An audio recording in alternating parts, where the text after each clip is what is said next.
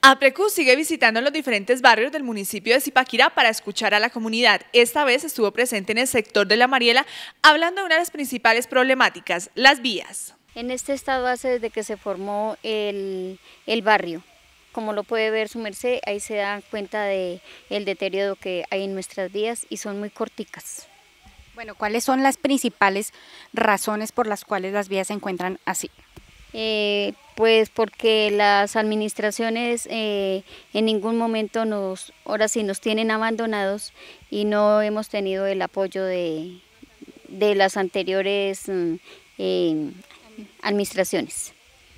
¿Cuál es la petición que ustedes hacen en este momento a la Secretaría de Obras Públicas y la Administración Municipal para que tengan en cuenta el arreglo de las mismas? Eh, ya que nosotros tenemos legalizado nuestro barrio, lo, que nosotros necesitamos es que vengan y nos echen una manita con la pavimentada, ya que el, deterioro de las vías eh, forma mucho polvo, eh, si llueve mucho barro, donde las personas mayores y los niños se nos enferman, se nos entra la tierra hacia las casas, no vale ahora sí hacer nuestro aseo porque pues el deterioro de las calles es impresionante. Bueno, durante todo este tiempo que ustedes se han visto afectados, ustedes como comunidad y también como Junta de Acción Comunal, ¿han gestionado algún documento o algún proyecto para eh, implementar aquí en el barrio La Mariela frente al tema de las vías? Sí, señora, cuando estuvo la otra administración, nosotros hablamos con el señor alcalde que es saliente y él nos dijo que pues iba a mirar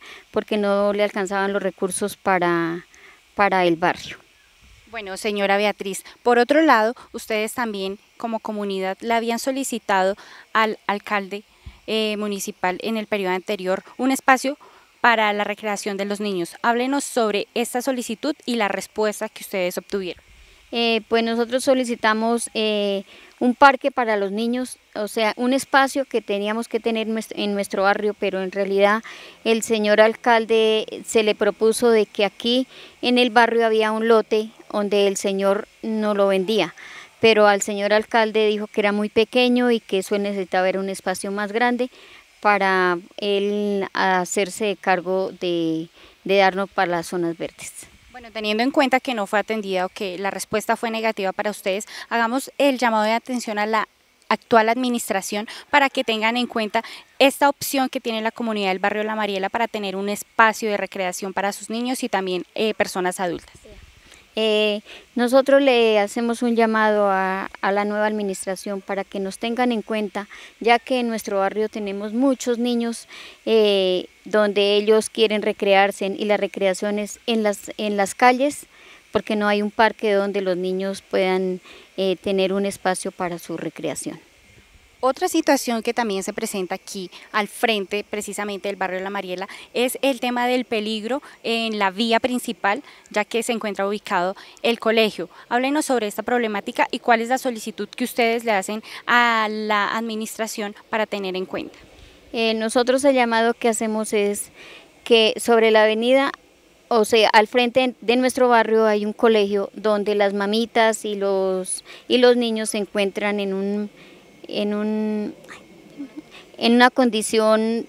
de peligro, por lo que hay sobre la avenida principal, entonces eh, van carros y lo que pedimos nosotros es unos dos policías para que nos los vengan y nos hagan el grande favor y nos colaboren con eso. Tenemos reductores, pero los carros, o sea, los conductores ya saben que reductores es cuando aceleran más su carro y entonces el peligro es de alguno de los niños o alguno de los papitos.